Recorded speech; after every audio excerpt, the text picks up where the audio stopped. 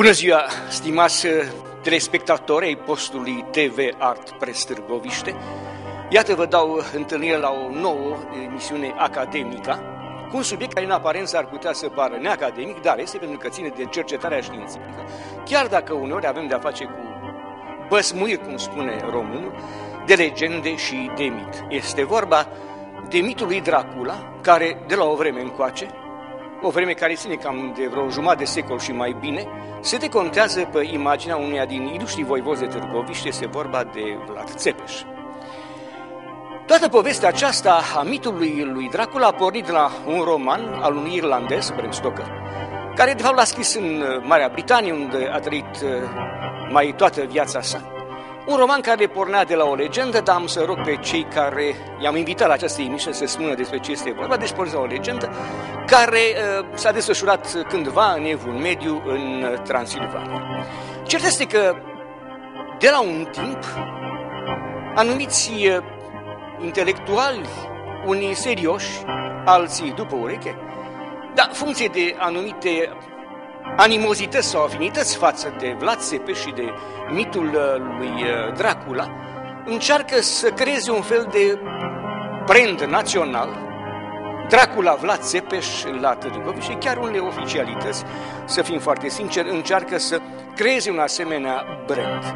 La urmă, urmă, hai să vedem cine a fost acest Dracula, ce este cu această legendă și ce a însemnat în istoria poporului român și a Europei chiar, a sud-estului european în mod deosebit, Vlad Țepeș, acest, de fapt, nepot al lui Mircea cel Bătrân, o figură într-adevăr care nu se deosebea prin, hai să zic, punct de rigoare a bucăturile sale, de obiceiurile sanguinare ale Europei Occidentale, unde se trăgea în țeapă, unde existau chinuri și mai grele pentru cei care erau pedepsiți de capetele încoronate, dar mă rog, noi eram la o margine de Europa și încă unii ne consideră la o margine de istorie și ni se pot pune în spate fel de fel de mituri care unor nu au temei în realitate. Pentru a înțelege ce se întâmplă cu acest mit și cine a fost Vlad Țepeș, am invitat uh, doi remarcabili istorici ai Târgoviștei, două generații de altfel care pot împărtăși două concepții, poate antagonice sau nu, legate de mitul lui uh, Dracula și de Vlad Țepeș. Este vorba de profesorul doctorant Ion Teodorescu, de altfel un foarte acribic truditor asupra istoriei românești și de tânărul profesor doctorant pe care l-am mai avut în emisiunile noastre, Alexandru V. Ștefănescu. Dar mai întâi să schițăm fie și fugar o biografie de domnie a voivodului pentru a înțelege mai bine imaginea istorică a acestui domnitor de Târgoviște și care, determinat de împrejurări deosebit de vitrege, a șezut în tronul de la Târgoviște al țării românești în două rânduri, august 1456, noiembrie 1462, și noiembrie-decembrie 1476. Ceea ce vom înfățișa despre acest voievod o vom face pe fundalul unui sugestiv documentar difuzat de Discovery Channel. În timpul pregătirilor pentru Marea Bătălie de la Belgrad, una din marile bătălii liberatoare ale Europei de spaima otomană, Iancu de Hunedoara acest mare conducător al Ungariei medievale, de fapt un român care a acces la această putere, ajutase să urce tronul țării românești, un om în care avea de plină încredere, ca unul ce-și făcuse ucenicia mai mulți ani la curtea sa și care se identificase în totul cu politica marelui voievod. Vlad Țepeș, urcând tronul de la Târgoviște, își formulase programul de domnie, întărirea țării în lăuntru pentru a-i putea asigura independența. Acest program putea fi realizat pe de o parte prin frânarea tendințelor anarhice ale Marii Boierini, uneori prin mijloace sângeroase, pe de altă parte prin protejarea negustorilor munteni, care, prin activitatea lor, aduceau bogății țării și, în al treia rând, prin ocrotirea împotriva abuzurilor boierini, a țăranilor din care face astfel buni soldați și contribuabili.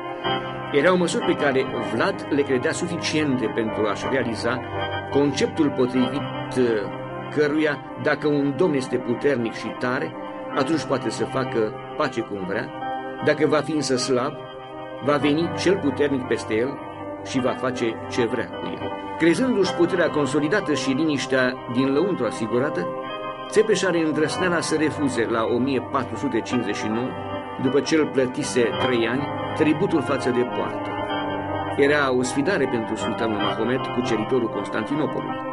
Ieșuând cursa pusă la cale pentru prinderea sa, la Țepeș săvârșește în iarna anului 1462 o seamă de acțiuni temerare. Eliberează Giurgiul, trece în sudul Dunării și pustiește malul drept, de la gurile fluviului până la Zimicea, omoară vreo 20.000 de turci, acaparează bogate prăzi. Expediția de pedepsire nu întârzie. În aprilie 1462, asta otomană, de vreo 200.000 de oameni, se puse în mișcare sub comanda sultanului însuși.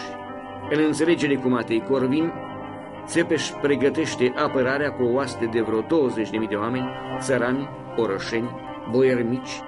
După ce hărțuiește și macină oastea vizirului Mahmud, pătrunsă mai întâi pe teritoriul țării, atacuri îndrăsnețe sunt îndreptate apoi împotriva grosului oștirii turcești, conduse de însuși sultanul, e în apropiere de Târgoviște la 16 iunie 1462, un atac de noapte provoacă panică și măcel în rândurile otomanilor. Priveliștea sinistră a pădurii de țepi, în care atârnau turcii, ce încercare să-l prindă la Giurgiu în anul precedent, demoraliză și cutremură pe sultan, care se retrase cu astea înfrântă în iulie 1462, mărturisind că nu poate să ia țara unui asemenea brav voievod. O personalitate complexă și contradictorie, Vlad Țepeș a fost denigrat de unii pentru caracterul său aspru și temperamentul său nu îndeajuns de chipzuit. A fost elogiat de alții pentru eroismul său în apărarea țării și pentru eforturile sale de a pune rânduială într-o societate cuprinsă de anarhie. Sunt fără îndoială merite ce nu pot fi contestate sau subestimate, deoarece acțiunile sale au întârziat instaurarea dominației otomane asupra țărilor române cu peste trei sferturi de veac.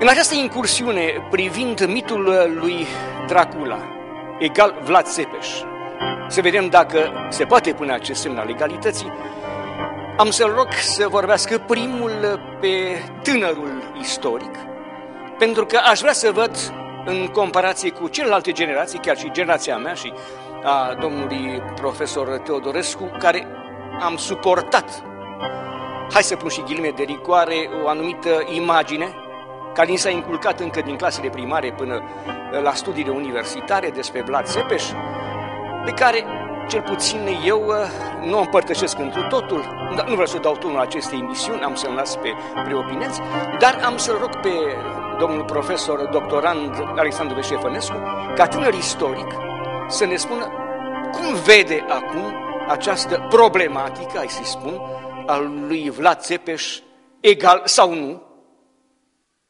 Dracula. Vlad Țepeș este, fără îndoială, unul dintre personajele cele mai interesante și mai controversate din istoria românilor. Putem spune că la ora actuală istoriografia uh, post-revoluționară uh, s-a întors în punctul în care se afla istoriografia perioadei interbelice cu numele Marca, C.C. Giurescu sau Pepe Panaitescu sau chiar Nicolae Iorga. Sunt uh, două categorii de istorici. Unii îl privesc pe Vlad Țepeș drept un uh, erou al credinței, un campion al creștinătății și totodată un personaj care a încercat să impună dreptatea prin mijloacele absolute, iar alții îl consideră un nebun sângeros. Fără îndoială, el rămâne în uh, mitica națională cu aceste ambe fețe. În primul rând, trebuie să trebuie să ne gândim că totuși personajul Vlad Țepeș este un domnitor, unul dintre cei mai importanți pe care a avut uh, țara românească, un uh, foarte bun militar, vezi campania din 1962, uh, când turcii suferă câteva înfrângeri serioase, dar, spre deosebire de alții voievozi, de el se leagă două concepte. Concepte care țin mai mult de epoca modernă, totuși reușește să le impună în evul mediu românesc. Și primul ar fi rațiunea de stat, Practic, toată politica asta sângeroasa sa, și anume conflictul cu brașovenii, despre care cu sașii din Brașov și Sibiu, despre care voi reveni, cât și terorismul de stat, asta ar fi un al doilea concept pe care ar vrea să-l subliniez, au avut la bază una și aceeași rațiune, anume impunerea unei voințe puternice, unei voințe forte în țară, pentru a arăta puternicilor vecini, atât Ungaria, cu ajutorul cărora preluase tronul, cât și Imperiul Otoman, sub amenințarea continuă care se desfășoară domnia sa, de a arăta acestor doi vecini puternici că există o voință națională solidă unită în jurul Domnului. Pentru primul caz, privind rațiunea de stat, trebuie subliniat faptul că Vlad Țepeș a preluat puterea cu ajutorul masiv al regelui Ungariei. El semnase un tratat cu brașovenii prin care atât negustorii din Brașov cât și cei din Sibiu, vezi aceste două orașe carpatice extrem de puternice centre comerciale, uh, erau dependente de un comerț liber prin uh, Muntenia, prin țara românească. De aceea el susțin ca domn. Totodată, el încearcă să tempereze pornirile uh, expansive ale Imperiului Otoman. Ca urmare, brașovenii îl concep la scurt timp, după urcarea sa pe tron, drept un supus al sultanului și încep o intensă campanie propagandistică împotriva sa. Pa chiar susțin uh, în refugiu 2-3 posibili pretendenți la tronul Munteniei, deci se angajaseră prin primul tratat din 1956 să nu asigure sprijin unor astfel de pretendenți. Replica lui Vlad este extrem de dură. Ea nu, depăși, ea nu depășește cu nimic uh, cadrul uh, etic din perioada medievală.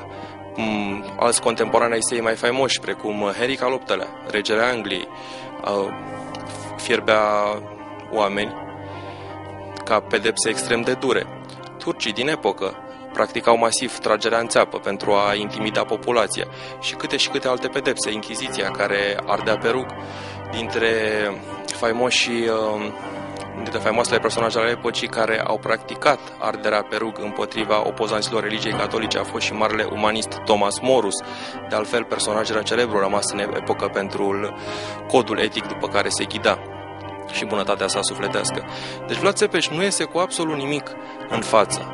Uh, în schimb, anularea privilegiilor negustorilor sași și mai ales campania extrem de dură pe care o practică în 1958 și 1959, în care Brașovul este parțial ars și jefuit, iar o mulțime de sate sunt distruse, locuitorii fără seamăn fiind, uh, fără nicio diferențiere fiind trași în țeapă, îi vor aduce această reputație de temut. Rațiunea de stat a sa a vizat, pe lângă pedepsirea posibilelor uh, zone de forță ale diversilor pretendenți, cât și instaurarea unei uh, politici de dreptate în țară. Prin eliminarea sașilor și brașovenilor, comerțul uh, negustorilor munteni, de altfel puțin destul de redus și slab ca forță comparativ cu cei din Saș și Brașov, căpătau o, primeau o măsură protecționistă deosebită.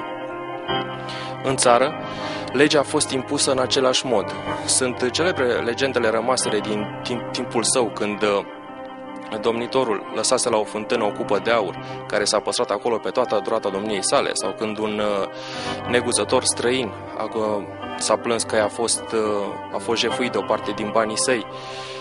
Într-o singură zi i-a avut înapoi în totalitate, hostul fiind apoi prins și tras în țeapă. Este, sunt acte remarcabile de justiție. Cu toate acestea, țara nu a fost unită în jurul său. Vom vedea că la a doua sa domnie, de fapt, când a fost impus din nou cu sprijinul uh, Ungariei, Vlad nu uh, se poate menține. Ostilitatea era omniprezentă în jurul său, iar Ștefan cel Mare, aliatul său la acel moment, este nevoit să-i asigure o gardă de 200 de moldoveni pentru paza personală. Revenind la cele două concepte pe care le-am amintit, despre rațiunea de stat am vorbit. Ar mai fi terorismul de stat, un alt concept care în Franța va fi uh, remarcat în timpul Revoluției franceze, mai exact a dictaturii Jacobine, o încercare de a păstra întreaga țară sub control. Este exact ceea ce practică Vlad Țepeș avant la letră prin uh, politica față de proprii supuși. Uh, Partea extrem de controversată este că nu se reduc, uh, politica sa nu se reduce doar la simplele fără de legi care se practicau în țară destul de multe într-un climat de ostilitate și de neliniște continuă datorată invaziilor străine și uh, rulării domnilor pe tronul țării românești, dar uh, încearcă să intre efectiv în viața morală a supușilor săi. Sunt pedepsite femei adultere, fete care își pierduseră virginitatea, uh, soții leneșe, care nu își întrețin bine soții. Se intră până la acest uh, nivel în viața de cuplu a țăranului român. Reputația însă și-o datorează unei campanii propagandistice deosebite. Până atunci, niciun alt domn român nu beneficiase, între ghilimele, de o asemenea campanie propagandistică. Ea aparține sașilor și deși tiparul bă, recent apărut era un mijloc destul de scump în epocă, negustorii sași din Brașov și Sibiu se îngrijesc să scoată șase broșuri în limba germană, apărute la Strasburg, la Augsburg, la Bamberg, la Nuremberg, în încercarea de a-l discredita pe acest uh, domn. Poveștile despre cruzimea sa circulă în întreaga Europa și practic ele vor alimenta mai târziu uh, legenda sângerosului conte Dracula. Bram Stoker, mult mai târziu, în 1879, a beneficiat de consilierea unui profesor specialist în studii maghiare de la Universitatea din Edinburgh. În schimb, în uh, lucrarea sa, deși contele este ambientat în uh, Transilvania, se face o oarecare legătură între Vlad Țepeș și Dracula, anume înrudirea sa cu Batoreștii, cu familia Batori, celebra familie nobiliară maghiară Batori, îl plasează în Transilvania. Pe de altă parte, și țara atrage Transilvania, țara de dincolo de păduri, este un nume cu conotații uh, mistice care atrag, de aceeași plasare acolo, deși relațiile domnitorului cu Transilvania au fost de cu totul altă natură. Iar uh, Dracula lui Bram Stoker pare mai curând a fi prin fenomenul demonologic al strigoismului, o rudă destul de îndepărtată a prințului uh, Valah și a figurii istorice. Pentru că în cartea lui Bram Stoker, deși apare un monolog în care se precizează poziția Uh, se precizează prin fapte poziția lui uh, Radu cel Frumos, cum că ar fi, deși și el un Dracula, cum, ar, cum că ar fi închinat țara turcilor. Apoi poziția se merge mai departe pe aceeași filieră a Rudeniei până la Mihai Viteazul, care a reușit să unifice cele trei țări române sub uh, autoritatea sa și continuă. Totuși, contele este destul de, de neclar ca poziție. Personal, ca cititor al acesteia și ca istoric, consider că el ar fi mai curând, acest Dracula al lui Bram Stoker ar fi mai curând o rudă îndepărtată decât uh, însăși voievodul.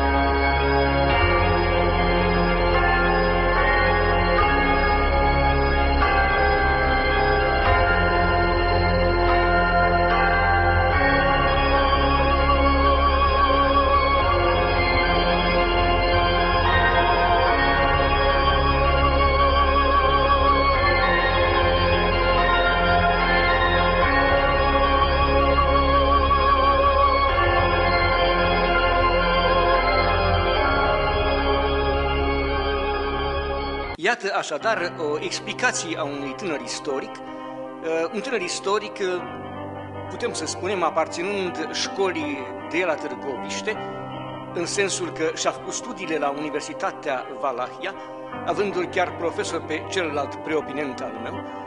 Iată o părere, subliniez, uh, foarte avizată. Domnia s-a citit romanul lui Bram Stoker, a încercat să dea o explicație cum s-a ajuns la Vlad Țepeș, numai că, facem o completare, Bram Stoker pleacă din poveștile transilvane, de această ultra silva pe care a amintit-o mai înainte eh, profesorul Alexandru Veștefănescu și de la alte legende, nu numai de la broșurile sașilor, ci și de la o legendă eh, a unei batorești, de fapt a unei Erzsébet, cum spun maghiari, a unei Elisabeta, care era sanguinară care avea, cum să fiu, tendințe vampiriste.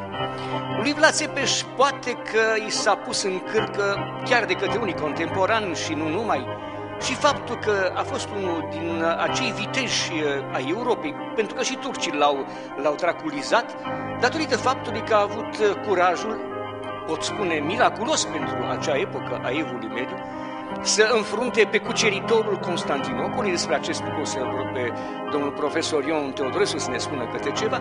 Iată, avem într-o parte, dacă putem să punem camera, este o imagine, noaptea acelea noapte, bătălia de noapte de lângă Târgoviște, asupra care sunt destul de controverse. Unii spun că a fost uh, în zona comunii Lucien de astăzi, alții ținând cont de faptul că uh, turcii văd la un moment dat uh, turnul Chindie, alții plasează în zona Ulmilor, de acolo se vede mult mai bine turnul Chindia, uh, dar uh, turcii au fost bătuți uh, zdravă în acea noapte, sultanul s-a și retras și văzând pădurea de țepe a spus că este greu să ia țara unui asemenea viteaz. Deci în jurul lui Vlad Țepeș există legende care pornește de la fapte, de la realități istorice, de la ceea ce a însemnat el ca domnitor al țării românești. Dar înainte de a discuta despre legendă ca atare, am să rog pe domnul profesor uh, Ion Teodorescu să ne spună, să completeze de altfel ceea ce fostul său student uh, ne-a relatat mai înainte, să ne semnifice în fond domnia acestui uh, Basarab, acestui Vlad Țepeș, cu datele de rigoare și cu amănunte, pentru că este o domnie, cum spunea și mai înainte și domnul profesor Alexandru și cu picanteriile sale, cu, cum să spun cu ceea ce dă la un moment dat, dacă veți, farmec de legendă epocii medievale. Domnule profesor, Iată, vă încreză microfonul să continuă această călătorie în biografia lui Vlad Țepeș, după aceea ne vor întoarce la legenda lui Dracula lui Bram Stoker. Uh, trebuie ca înainte de a discuta despre faptele sale, al lui Vlad Țepeș trebuie să facem următoarea precizare. În permanent, discursul istoric va fi supus unor, dacă înainte să zicem, presiuni ideologice, astăzi va fi, în zilele noastre, va fi supus unor așa zise mituri, demitizări și așa mai departe. Vreau să precizez următorul lucru. Nu precizez eu, precizez Mircea Eliade. Mit înseamnă pe undeva o relatare a unui fapt ontologic. De aici, uh, bineînțeles că s-a transformat în faptul că și foarte mulți uh, oameni care s-au erijat în uh, cunoscători sau mai bine zis a rescrie istoria României în demitizări și alte, să zicem, legende de acestea. Ce se întâmplă? Să, să fiu concret. Țara românească de atunci era vasală porții otomane. Ce înseamnă această vasalitate? Înseamnă următorul lucru. Poarta otomană, care mergea după dreptul coranic, prin Casa Păcii, țara, țara română plătea un, uh, un haraci, ne se dădea uh, chitanță pentru acest haraci și, bineînțeles, i s-a asigurat ce?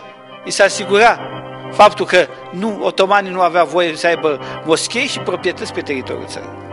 De asemenea, pentru mai mare, să zicem, uh, subordonare, uh, poarta otomană uh, lua ca o sta, ținea ca, să zicem, pe partea bărbătească, pe copiii Domnului ca o statici la Constantinopol.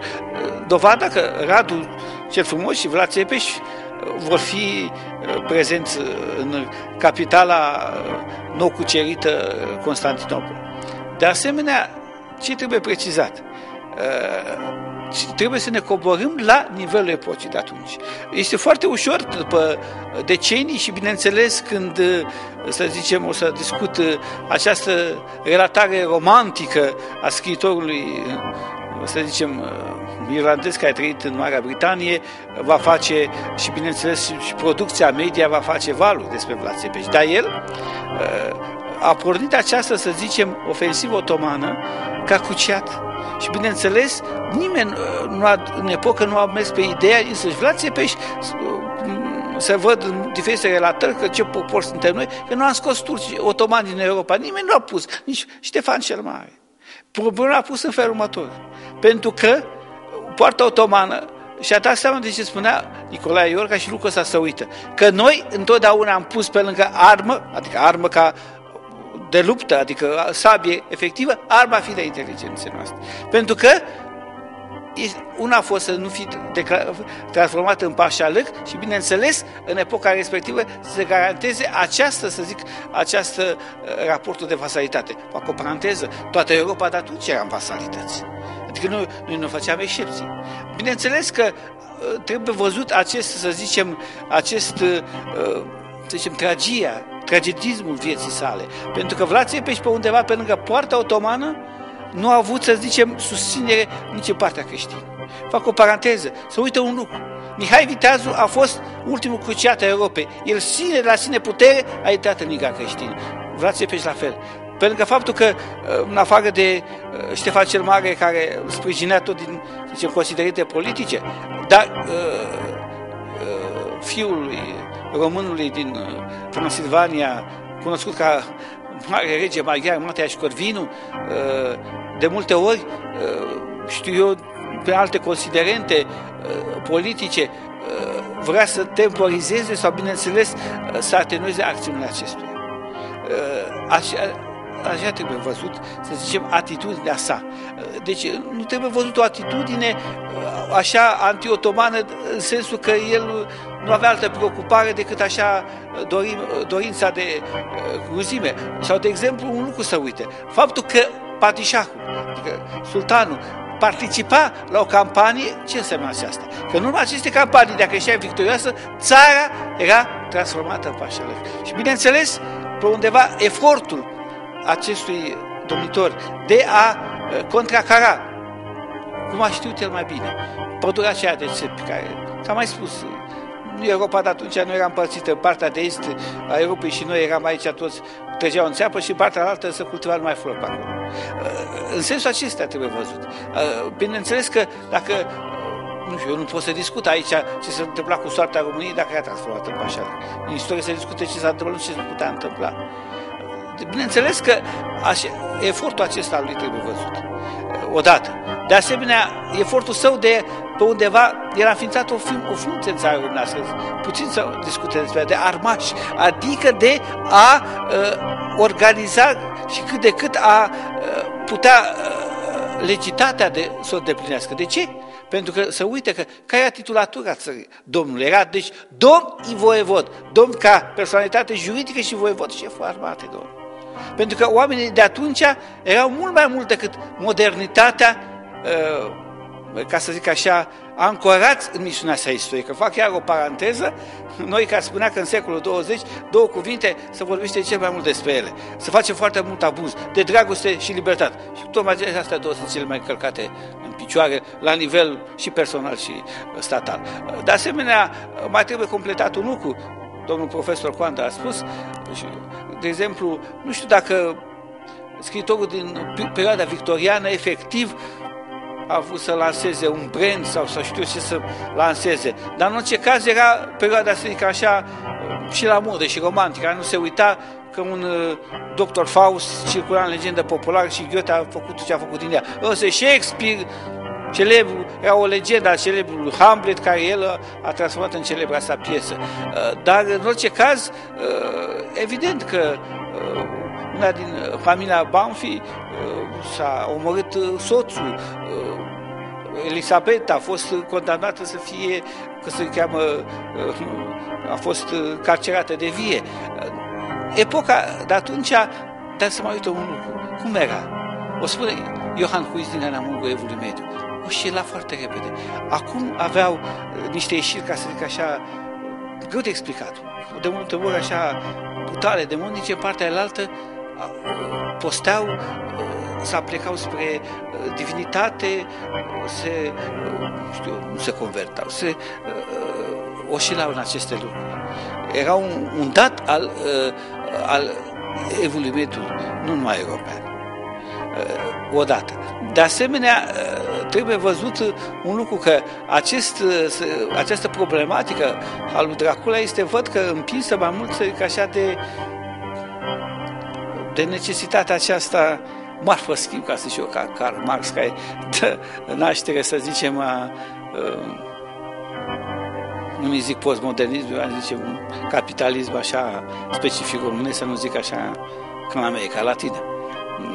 Pentru că din el este văzut acest personaj, este mult mai ușor să-l transform în, într-un brand, într-un om să vină străini să arăți sau să le știu, să te să duci la castelul de la Lucă, să-i arăți că ce făcea pe acolo, ce sucea sânge, ce nu sucea, decât, evident, uh, să, uh, să educi, pentru că să uită un uh, funcția media, mass media este și de a educa.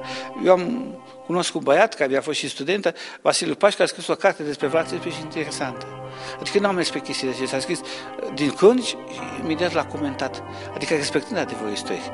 Ca să zic și eu ca să apropie zile când se va naște cel din Betlem, adevărul ne va face liber. Domnule profesor, explicațiile noastre deosebit de pertinente au aruncat uh, o anumită lumină asupra acestui personaj de legendă care a fost uh, Vlad Țepeș, pe care iată l-am întâlnit ca să știe telespectatorii noștri unde facem filmarea, în, sec, să zicem, în secvența, în uh, partea de muzeu din cadrul Complexului Național Muzeal Curtea Domnească din Târgoviște, deci în partea de ev mediu, de aceea și aceste imagini eh, din spatele nostru, care, iată, cel puțin două îl privesc pe voievod, este vorba de efigia sa și de bătălia de noapte de la eh, porțile Târgoviște.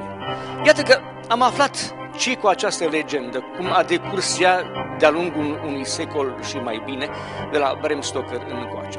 Dar hai să zic cam de vreo 30 de ani, nu mai mult cred, se încearcă a se transforma, cum spuneam și la începutul emisiunii, uh, acest uh, această imagine malefică la urma urmelor, Vlad Țepeș Dracula într-un brand comercial al Târgoviștii, e adevărat că noi împrumutăm, și a spus foarte bine domnule profesor, împrumutăm cam multe din marketingul turistic uh, uh, american, anglosaxon, dar cu deosebire american.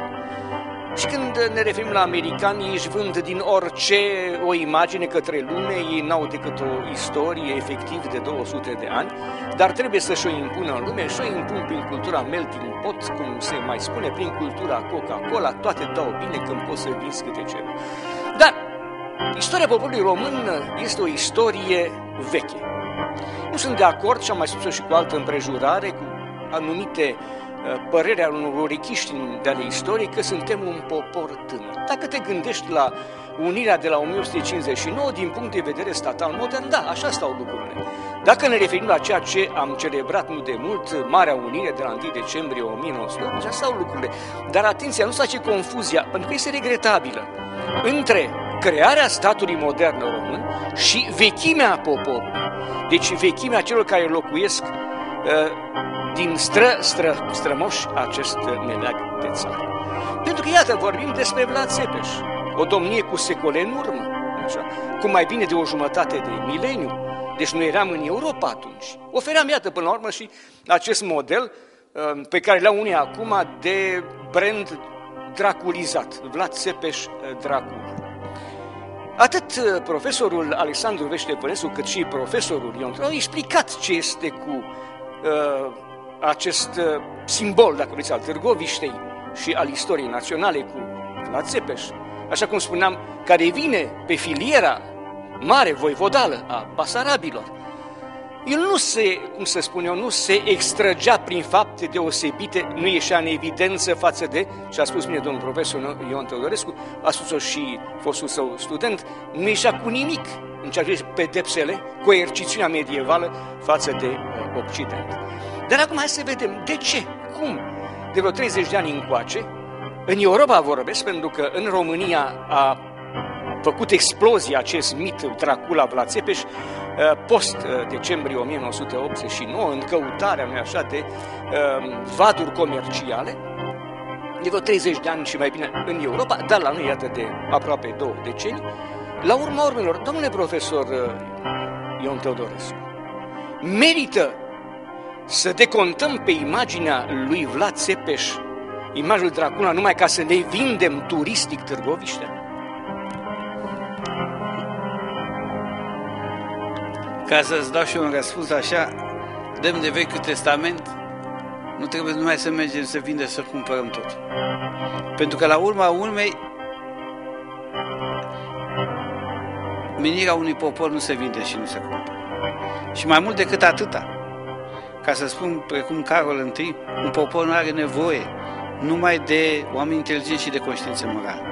Poate ceea ce a spus domnul profesor Coanda, și se și vede, nu trebuie să fii mai recunoscător a istoriei, să vezi că s-a ajuns la tot felul de branduri, nu trebuie pentru orice totul să transforme în marfă schimb. Pentru că la urma urmei uh, riscăm un lucru. Riscăm ca generațiile viitoare, ca menirea noastră care ne o asumăm, să fie uh, pervertită. Pervertirea aceasta ne poate costa mai mult decât ne închipuim noi. Odată. De ce? Pentru că nu trebuie pe undeva să dezarmăm în fața vremurilor care vin. Nu trebuie să transformăm totul într-o relație facilă și de moment. Spun toate aceste lucruri nu pentru că trebuie să facem ținem un discurs patriotart, ci pentru că mă obligă istoria acestui popor, mă obligă cercetarea, mă obligă faptul că am fac aici un discurs istoric, citești din Iorga, care a scris Bizanț după Bizanț, profesorii Inalcic, eu am făcut, de exemplu, Turcu Osmană la facultate, cu un profesor uh, Maxim, deci uh, nu putem să, uh, să spunem că Vlad Țepeș trebuie privit așa să cădem în extreme, dar am impresia că, într-un mod sau altul, mai mult sau mai puțin subtil, cineva are ce are cu poate cu mâinirea noastră. Dacă să închei într-un fel, închei cu cuvintele mele lui Petre Țuțea. Că, de fapt, mersul nostru în istorie este mersul a divinității lui Dumnezeu și, ca să zic așa, o expresie populară, buturga mică răstoară carul da, așa este. Unor în istorie, butulugile mici răstoarnă carne mare ale imperiilor, ale marilor regate, s-a întâmplat și în istoria poporului român, dar pentru că este vorba de a se căuta un brand comercial istoric pentru Târgoviște și pentru că cineva se gândește, eu unul personal spun că nu sunt de acord, se gândește ca să-l transforme pe Vlad Țepeș în Dracula, iată, trebuie să precizăm că Bram Stoker nu și-a localizat, uh, cum să spun eu, uh, arealul de desfășurare a legendei la Târgoviște, nu, nici nu vorbește, vorbește de un castel undeva pe lângă Bistrița uh, nemțească din Transilvania, pe lângă o trecătoare, deci într-un alt spațiu geografic. Ceea ce se spunea mai înainte de o anumită legătură cu Batorești este altceva. Asta nu înseamnă că, că Vlad Țepeș a fost, a fost Dracula. Trebuie să mai spunem un lucru. E adevărat că în epoca a existat o, o legendă legată de tatăl lui uh, Vlad Țepeș, uh, voivod la rândul lui, cel care de altfel fusese înnobilat, sau mai bine zis, distins cu uh, cel mai înalt ordin al regatului maghiar, cu ordinul dragonului, îl și purta pe armură. De aici poate și prin aliterație chestia de Dracula, Dracula, cum spun, cum spun americanii. Dar una, una și este alta, și alta e alta. L-aș întreba pe domnul profesor Ian Todorescu, Oare Târgoviștea nu are de, de pus în evidență alte branduri turistico-istorice?